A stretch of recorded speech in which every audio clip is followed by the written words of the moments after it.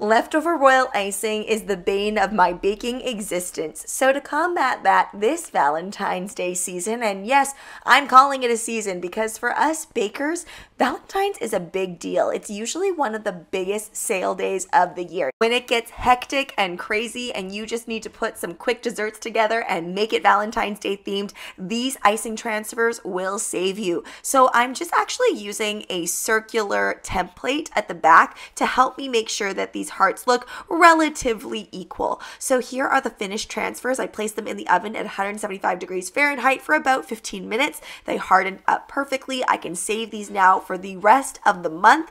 And then I placed them on these beautiful Valentine's Day cream puffs. Full video for these coming up.